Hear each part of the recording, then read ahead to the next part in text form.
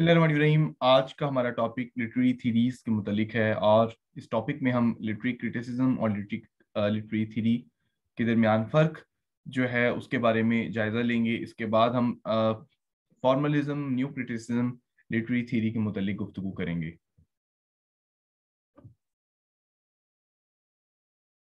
अगर हम लिटरी थीरी और लिटरी क्रिटिसिज्म के दरमियान में फ़र्क चेक करें तो बुनियादी तौर पर हमें ये नज़र आएगा कि लिटरी थीरी एक आइडियाज़ या थीरीज का नाम है, एक फलसफे का नाम है, जिसके जेर असर हम किसी भी टेक्स्ट का तनकीदी जायजा लेते हैं कि आया कि हम उसके असर के तहत किसी भी किताब, किसी भी नज़म, किसी भी नावल या ड्रामे के बारे में हकीकतों से पर्दा उठाने के लिए कोशिश करते हैं। लिटरी थीरी हमें वो पहलू दिखाती है जिसके ज़रिए हम लिटरी क्रिटिसिज्म करते हैं। यानी आप लिटरी थीरी को आप एक थीरी के तौर पर देख सकते हैं और क्रिटिसिज्म को आप उसका एक्शन देख सकते हैं। Literary criticism is study evaluation and interpretation of literature literary theory एक एब्स्ट्रैक्ट आइडिया की तरफ़ रेफर करती है, जबकि लिटरी क्रिटिसिज्म एक्शन की तरफ़ इशारा करती है। अगर हम मजीद इसकी बात देख लें कि लिटरी क्रिटिसिज्म और थीरी इन दोनों का आपस में लाजम और मलजूम होना बहुत ज़रूरी है, क्योंकि लिटरी थीरी की जो डेवलपमेंट है, वो भी लिटरी क्रिटिसिज्म से ही हुई है। जितनी ज़्यादा क्रिटिसिज्म ज़्यादा होगी इंटरप्रिटेशन ज़्यादा होगी, नए आइडियाज़ ज़्यादा मिलेंगे और नई थीरीज सामने आएँगी। इसी तरह, literary theory takes one step ahead, it may be the result of extensively literary criticism, ये मैं आपको बात कर चुका हूँ, जबकि literary criticism जो है वो कंपैरिजन एनालिसिस एवेल्युएशन और इंटरप्रिटेशन पर फोकस करते हुए चीज़ों को जानने में मदद करती है। ब्रीफली uh, अगर सम अप किया जाए तो थीरी जो है वो सर्टेन आइडियाज़ पे मबनी जो है ख्याल को कहा जाएगा नज़रिए को कहा जाएगा जबकि क्रिटिसिज्म उसी ख्याल के ज़रिए किसी चीज़ को तनकीदी तौर पर जायजा अमल में लेकर आने को जो है वो अदबी तनकीद कहा जाएगा। लिटरी थीरी अब मजीद हम इसको अगर फ़र्क चेक करें तो it can be describe as the frame that supports literary criticism literary theory के बारे में कहा जाए। सिंपल टर्म्स में ये कहा जा सकता है कि ये मुख्तलिफ़ परस्पेक्टिव हमें दिखाती है स्कॉलर्स को दिखाती ताकि वो एवेलुएट कर सके लिटरेचर को।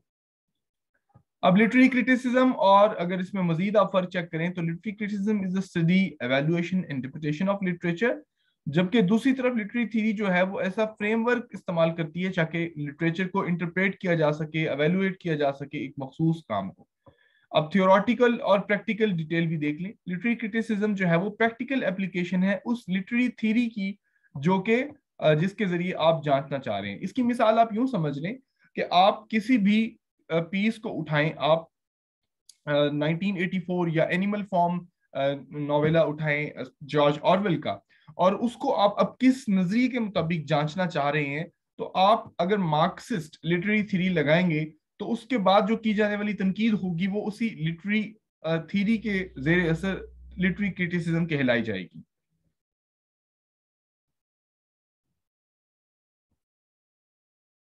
या आपके सामने मुख्तलिफ़ जो है वो लिटरी थ्री की आपके सामने आ रही हैं ब्रांचेज आ रही हैं, कि किस तरीके से मुख्तलिफ़ जो है अदवार में या किसी दौर में या अभी भी स्टिल प्रेजेंट इनके ज़रिए, इनके लेंस के ज़रिए किसी भी टेक्स्ट को जांचने में मदद मिल रही है और मिलती रहेगी। आपके सामने एक टाइमलाइन आ रही है और इस टाइमलाइन में बड़े ही खूबसूरत अंदाज में क्लासिकल लिटरी थीरी के बाद रोमांटिक फिर दूसरी ऑफ़ शूट हमें निकलती हुई दिखाई देती है।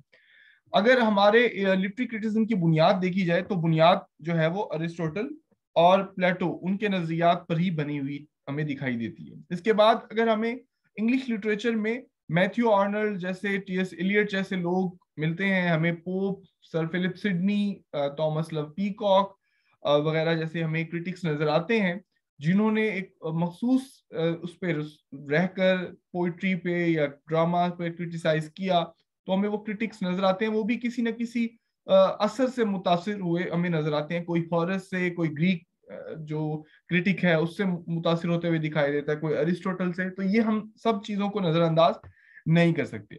उन्नीसवीं सदी के आगाज़ से लेकर फिर ये बीसवीं सदी और इक्कीसवीं सदी में बहुत सारी जो है, हमें लिटरी थीरीज जो है, वो नज़र आती हैं, जिसमें रशियन फॉर्मलिज्म है semiotic structuralism new criticism archetypal जो थीरी है और इसके बाद स्ट्रक्चरलिज्म पोस्ट स्ट्रक्चरलिज्म डिकंस्ट्रक्शन ये सारी हमें नज़र आती है। हम बारी बारी इन तमाम को भी डिस्कस करेंगे अपने आने वाले वीडियो लेक्चर्स में।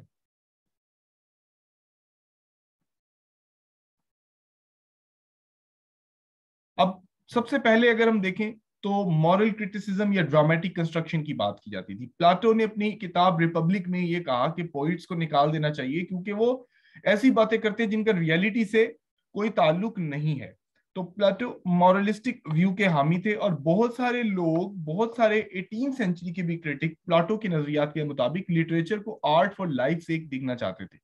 और वो आर्ट को सिर्फ़ एक सोल पर्पस के लिए यूज़ करना चाहते थे कि वो आर्टिस्टिक प्लेयर जो है, उसके अलावा वो मॉरल पॉइंट ऑफ़ व्यू भी हमें दिखाए और मॉरली हमें दिया जाए। और लिटरेचर को जज कैसे किया जाता था कि पीस ऑफ़ जो लिटरेचर है, वो मॉरल लेसन दे रहा है या नहीं दे रहा? अब अरिस्टोटल के ऊपर अगर हम बात करें तो वो ड्रामेटिक कंस्ट्रक्शन और ड्रामेटिक कंस्ट्रक्शन के ऊपर बात की जाती अरिस्टोटल के कि वो किस तरीके से, अगर आप पोइटिक्स में देखें तो प्लॉट जो है, उसकी development formative elements of plot tragedy क्या है कैथारसिस क्या है, ये इन तरीके से हमें जो है, वो तनकीदी जायजा देने में, मदद देने के बारे में मशवरा फ्राहम करते हैं।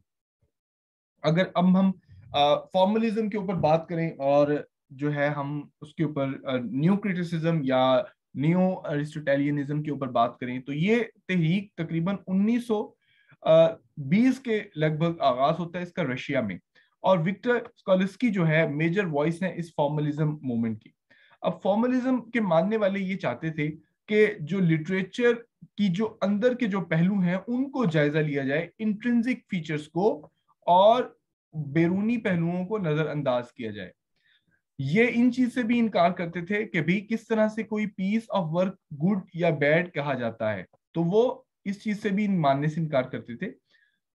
दूसरा, इसके अलावा अगर हम फॉर्मलिज्म जो मानने वाले लोग हैं लिटरी थीरी के, वो आर्ट को या लिटरी पीस को एक मुनफरद पीस के तौर पर जानते, जो कि इसकी इन्वायरमेंट हिस्ट्री या आथर की जो डिटेल है, उससे भी इसको अलग गर्दान थे फॉर्मलिस्ट ये समझते थे कि टेक्स्ट को समझने का बुनियादी तरीका यह है कि टेक्स्ट को ही समझा जाए और यही चीज़ बाद में अमेरिका में जो तहरीक पैदा हुई, जिसको न्यू क्रिटिसिज्म का नाम दिया, वो भी उसकी भी बुनियादें भी इस फॉर्मलिज्म मूवमेंट से हमें मिलती हुई दिखाई देती हैं। अगर हम ट्रेडिशनल फॉर्मलिज्म की बात करें तो शायद उसका इस्तेमाल अब इतना ज़्यादा नहीं है, लेकिन न्यू क्रिटिसिज्म अब भी हाई स्कूल में और पोस्ट सेकेंडरी स्कूल में इसका इस्तेमाल दिखाया जाता है।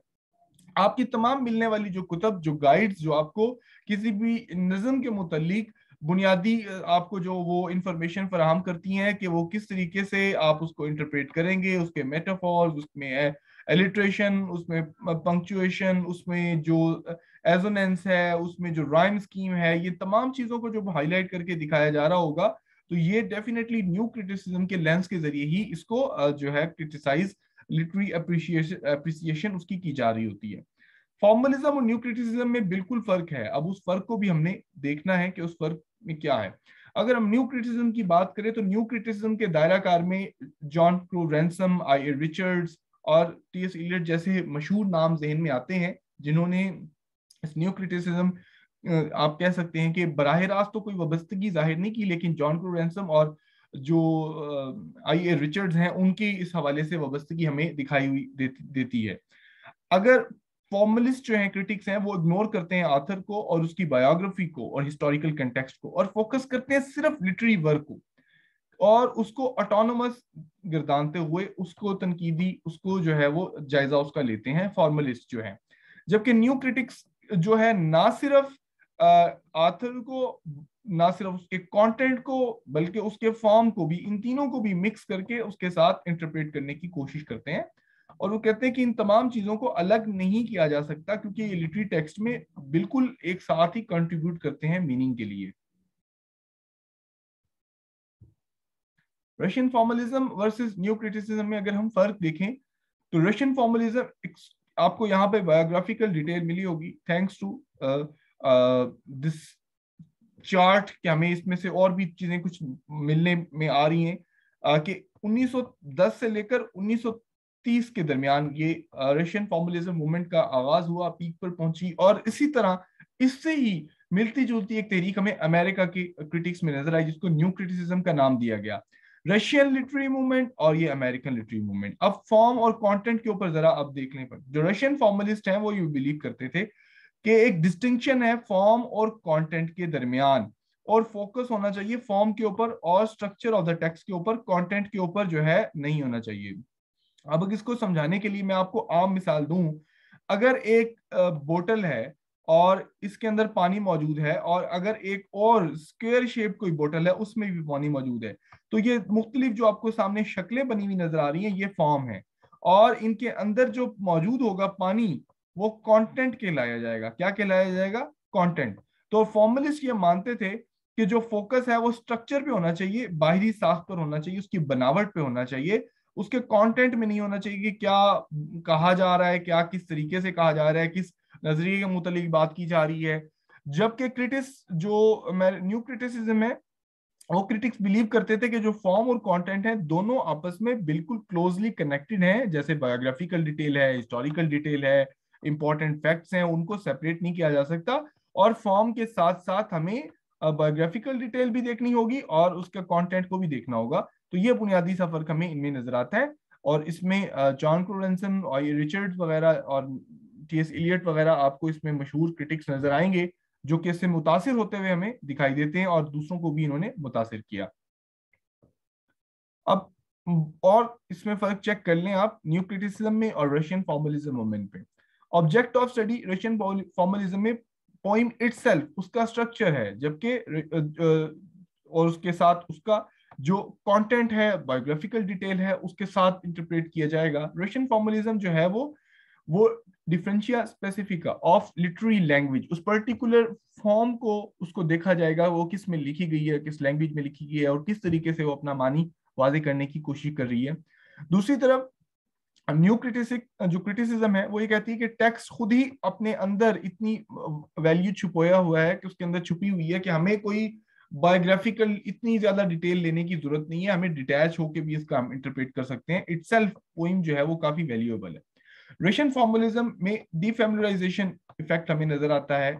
बहुत सारे लिटरी पीसीज में, अगरचा जर्मन जो एपिक राइट जो जर्मन राइटर हैं बर्टॉट ब्रेक्ट जो है, उन्होंने इस डिफेमिलाइजेशन इफ़ेक्ट को जो है पॉपुलराइज किया। तो डिफेमिलाइजेशन इफ़ेक्ट को अगर आप समझे तो गैर शनासा तक, तकनीक को इसको इस्तेमाल कहेंगे मिसाल के तौर पर आ, लिखारी अगर अपने लिटरेरी पीस में कोई ऐसी अजीबो गरीब अजनबी चीज़ों को मुतारिफ करवाता है और उनसे कोई मानी मफहम पेश करने की कोशिश करता है तो देखने में आ, किसी को अगर कोई चीज़ समझ आ जाए तो वो उसको डिफेमिलाइजेशन इफ़ेक्ट कहेंगे एक और मिसाल मैं आपको दूँ कि अगर किसी अदबी तकनीक इसका इस्तेमाल करते हुए अगर किसी फनपारे को ऐसे खूबसूरत अंदाज से पेश किया जाए कि देखने वाला जो पहले भी पचास दफ़ा उसके करीब से गुजरा है, लेकिन अब वो उसको ज़्यादा अट्रैक्शन के साथ समझेगा और उसको इंटरप्रेट करेगा तो ये है डिफेमिलाइजेशन इफ़ेक्ट इसकी तीसरी मिसाल भी सुन लीजिए। जॉर्ज ऑरवेल ने एनिमल फॉर्म में किस तरह जानवरों का इस्तेमाल करते हुए एक बहुत बड़ा मानी जो है लोगों को फ्राहम किया। अगर चाहे वो ये किताब, ये नॉवल नॉवेला जो है वो किसी और तरीके से बरह रास्त भी लिख सकते थे, लेकिन उन्होंने किसी तरीके से एक एलिग्री लिखी और सिंबॉलिक मीनिंग दिया और जानवरों का इस्तेमाल करते हुए एक बहुत ही गहरा मकसद जो है ना वो लोगों के सामने पेश कर दिया। तो ये फैमिलाइजेशन की तकनीक हमें नज़र आती है कि पहले से जानी पहचानी चीज़ों को किसी गैर शनासा तकनीक से समझ पेश करने की जो है वो कोशिश। आइकॉन्स जो है इसके अलावा पोइटिक इमेजेस के ऊपर और इनका मोटिव्स एंड अदर डिवाइसेस यहाँ पर थोड़ी सी हमें सिमिलैरिटी मिलती है एनालिटिकल मेथड मॉडल स्ट्रक्चर और system of motives irony unit और definitely content as well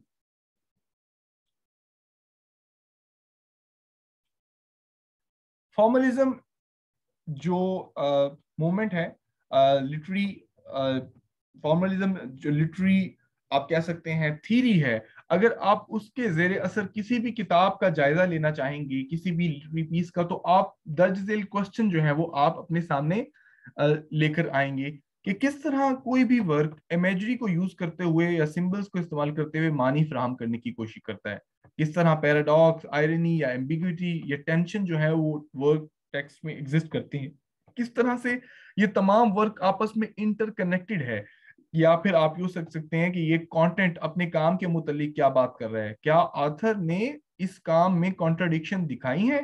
तो ये तमाम मुख्तलिफ़ सवाल हैं। राइम स्कीम क्या बताती है? मेटाफोर्स क्या बताते हैं? सिंबल किस चीज़ के इशारा करते हैं? तो ये तमाम सवाल हैं जो फॉर्मलिस्ट लिटरी थीरी को किसी भी टेक्स्ट पर अप्लाई करने वाला जो भी क्रिटिक है, वो इन तमाम सवालों का जायजा लेने की कोशिश करेगा। अगर हम इन सवालों को अगर एक पोइम के ऊपर लगाने की कोशिश करें मिसाल के तौर पर ये वाली पॉइंट के ये वाला सवाल अगर हम इसमें देखें कि किस तरीके से how does the author resolve apparent contradiction within the work या पैराडॉक्स क्या है? या वर्क इंटरकनेक्टेड नहीं है? या किस तरीके से?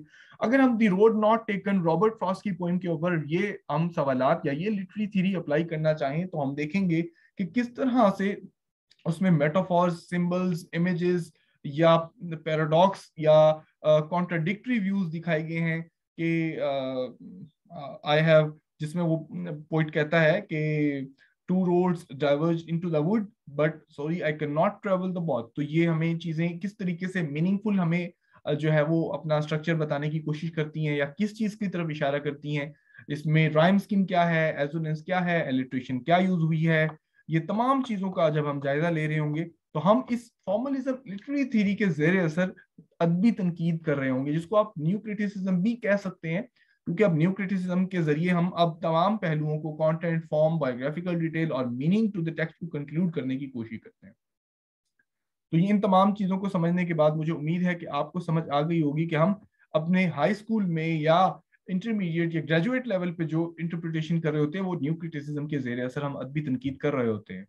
लेकिन इसके साथ साथ हम दूसरे पहलुओं को नजरअंदाज नहीं कर सकते जो दूसरी लिटरी थीरीज हमें मीनिंग के बारे में आगाही देने की कोशिश करती हैं। अगर आप फॉर्मलिज्म या न्यू क्रिटिसिज्म या न्यू अरिस्टोटेलियन क्रिटिसिज्म के बारे में मजीद जानना चाहें तो ये आपके सामने इस पेज पर आ, काफ़ी सारी इंफॉर्मेशन और किताबों का रेफरेंस आ रहा है जिनको आप इस्तेमाल करते हुए जो है वो कुछ ना कुछ अपने बारे में जान सकते हैं कुछ इकट्ठा कर सकते हैं। के साथ ही हमारा आज का टॉपिक जो है वो खत्म होता है। अगली वीडियो के साथ दोबारा मैं आऊँगा। अल्लाह हाफिज़।